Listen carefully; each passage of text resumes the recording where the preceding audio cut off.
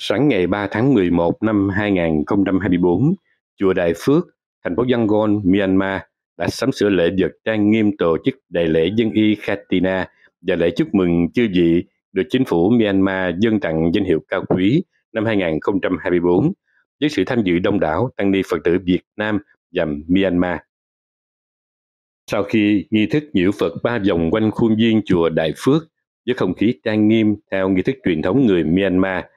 Đại lễ vinh hạnh sự tham dự 10 ngày tam tạng thuộc lòng thấu sức tam tạng kinh điển của Đức Phật 6, 7, 11, 13, 15, 16 cùng bốn chư vị thuộc lòng tam tạng Đức Tăng Thống, tiến sĩ Sandima Bivamsa, bậc đại thiền trí cao thượng, bậc đại sĩ dương chánh pháp cao thượng, ngài hiệu trưởng trường đại học quốc tế ITBMU,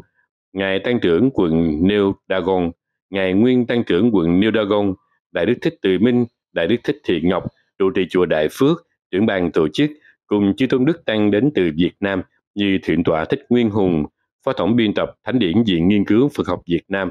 Thượng tọa Thích Quảng Đại, Phó giám đốc Trung tâm phiên dịch tư liệu Phật giáo quốc tế cùng chư tôn đức Phật tử Việt Nam Myanmar về tham dự. Về phía chính quyền Myanmar có ông Usou, trưởng ban tôn giáo thành phố Yangon, ông Usoe Quyên, thống hiến quận New Dagon, cùng các cán bộ thành phố Yangon đến dự. Về phía Việt Nam có ông Lý Quốc Tuấn, đại sứ đặc mệnh toàn quyền Việt Nam tại Myanmar, ông Đào Văn Duy, trưởng tùy viên quốc phòng Việt Nam tại Myanmar, ông Nguyễn Trọng Hộ, phó tổng biên tập tạp chí Cộng sản, ông Nguyễn Đức Hiển, nguyên cục phó C03, ông Nguyễn Quốc Khánh, tư lệnh phó binh đoàn 18, ông Ngô Vĩnh Quý, tổng giám đốc công ty viễn thông Machero, ông Nguyễn Quang Ngọc, giám đốc chi nhánh ngân hàng BIDV Việt Nam tại Myanmar, cùng các cấp nhân viên tại Myanmar và Việt Nam đồng tham dự.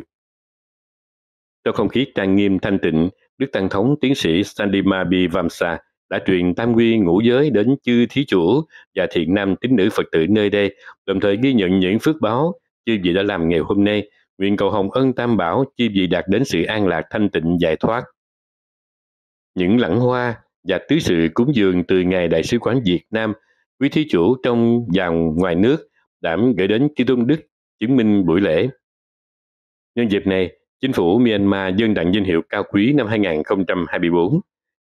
Ngài Tam Tạng Bảy năm nay được danh hiệu bậc đại thiện chí cao thượng, Ngài Kelesa được danh hiệu bậc đại sĩ dương chánh pháp cao thượng,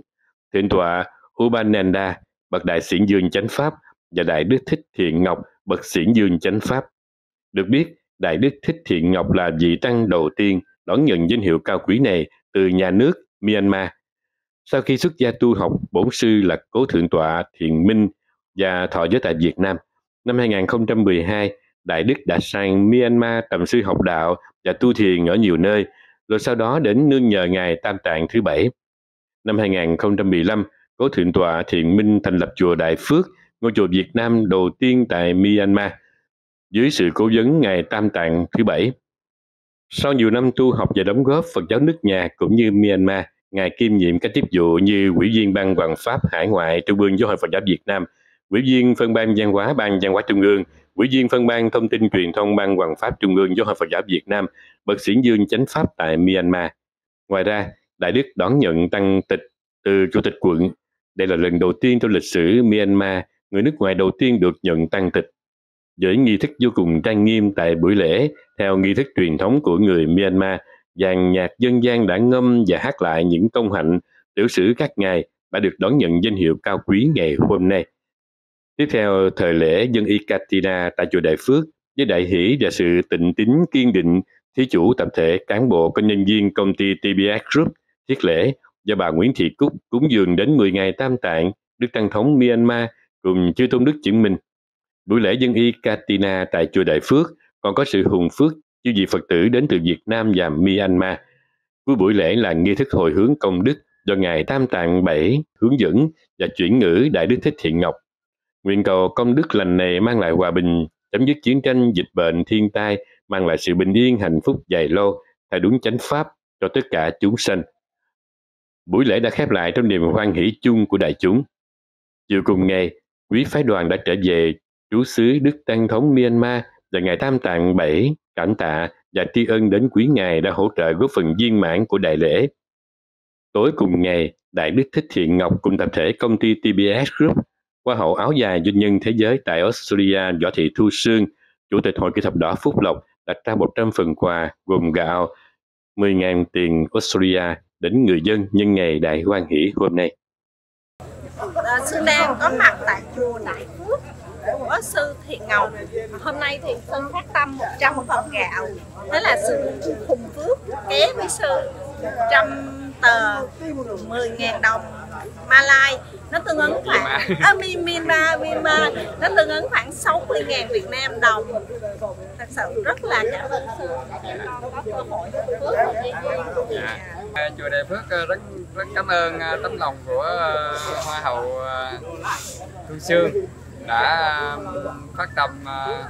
cúng dường cho bà con ở xung quanh chùa, xem như là hàng xóm của chùa đó là mỗi người uh, một uh, phần quà bằng cái cái tịnh tài cho nên đó là đại diện cho bà con nhân dân ở địa phương. Cảm ơn cô Tu Sương rất là nhiều. Chúc cô Sương được nhiều sức khỏe, vạn sự hanh thông, các tường như ý trong thời gian sắp tới. Nam mô bổn sư thích ca mâu ni phật.